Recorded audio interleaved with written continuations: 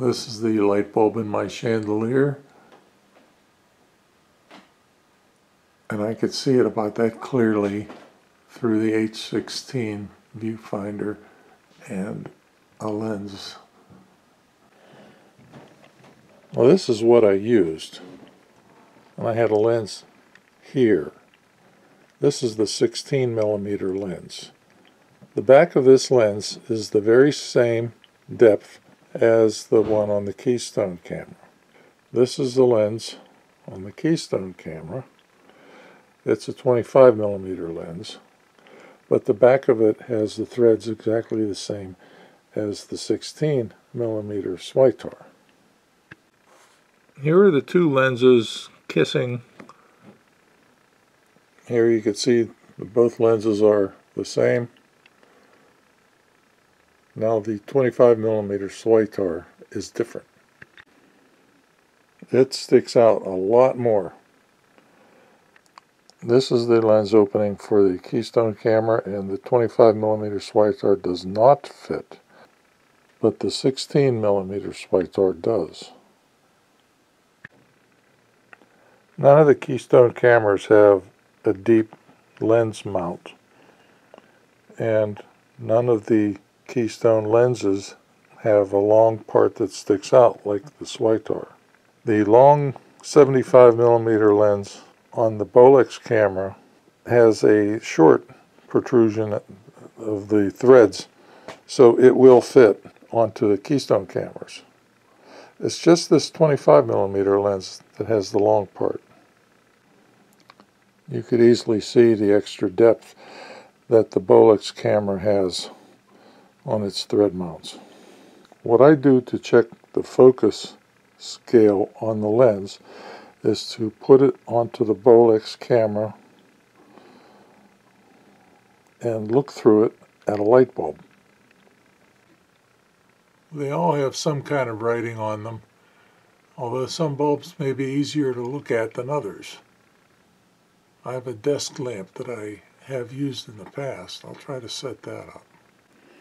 This LG 25 millimeter lens that was on a Keystone A15 Newport Deluxe camera did not focus where it said it would. I set it on two feet and I looked at a light bulb through it with this installed onto the Bolex H16 camera. Looked through the eye level focus finder and it was at three feet that it focused when the lens was on two feet.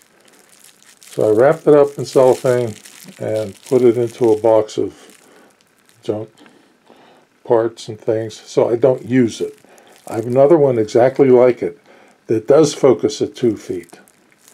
So until I figure out how to get this columnated correctly, and uh, it might be worth doing because all the functions work very smoothly. Uh, I have five other lenses to test. Maybe six or more to test. A lot of them are wide angle and they don't focus, but some of them do focus. Others are like this. They're all sorts of different shapes. One of them is a three inch lens and I've never used it. It's never been used. This attachment will be put on the Bolex H16 and I'll set it up on a box and slide it forward and backward looking at the light bulb in a desk lamp.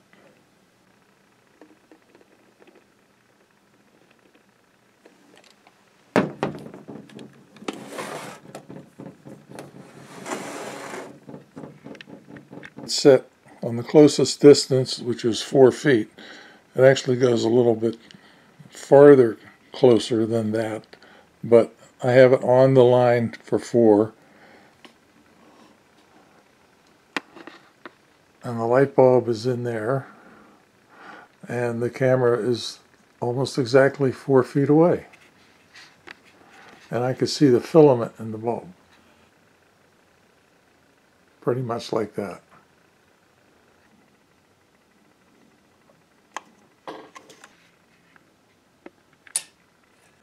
So that's a very rough way of doing it, but that's close enough, and I can tell that that lens is good to use the way it is. There's a whole bunch of others, but I just wanted to uh, get started and see if one lens works. But this ruler is great. It's a Stanley, and you could extend it a long ways and it doesn't bend. It might extend six feet and not bend, but most lenses will focus at four feet. The closest appears to be three and a half feet.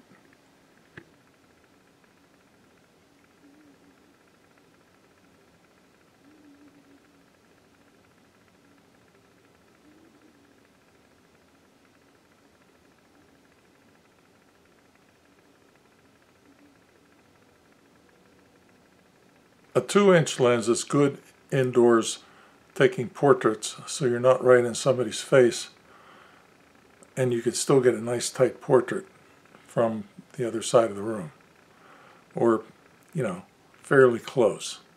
So it's good to know where the exact focus is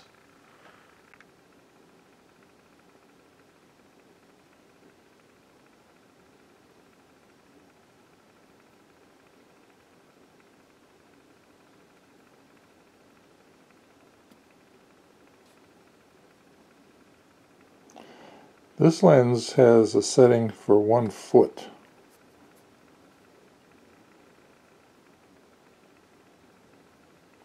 That, I assume, is the one. Because the next number is one and a half. Now this is about where it focused. I was almost inside the shade.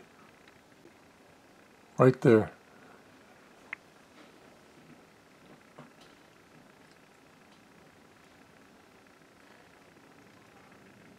That's hardly a foot.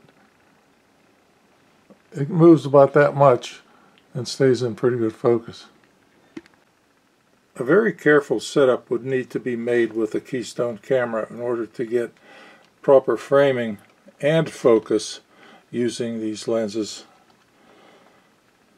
First you would have to know the focal distance and set that with a tape measure and then the actual framing you would have to have centered very nicely.